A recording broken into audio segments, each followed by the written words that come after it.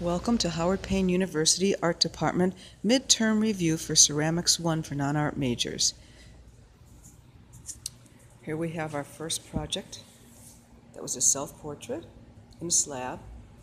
Second project was creating a pinch cup, a saucer, and a spoon. And the one after that was creating a pop art project informed by Andy Warhol, Roy Lichtenstein.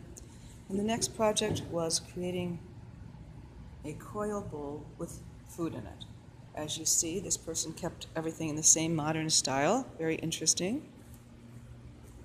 Here are a few more examples.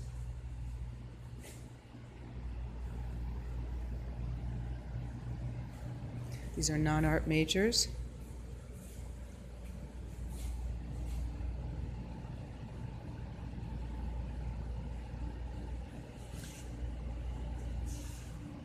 Coil pot, beads in it,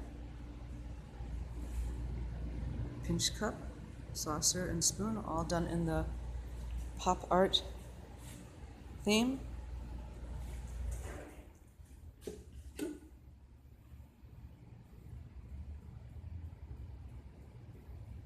There's an interesting coil pot, self portrait, pinch cup with tin spoon.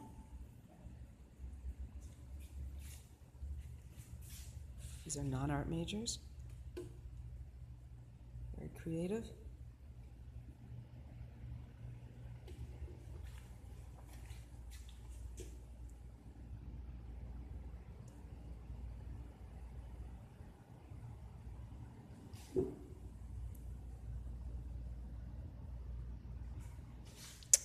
Here's a few more examples.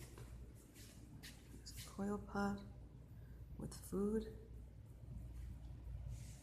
There's a pinch cup with a figure coming out of it. And a self portrait. And this is the last person. This is her self portrait. Her pinch pot. Her pop art project. Thank you very much for viewing the art from Ceramics 1 at Howard Payne University.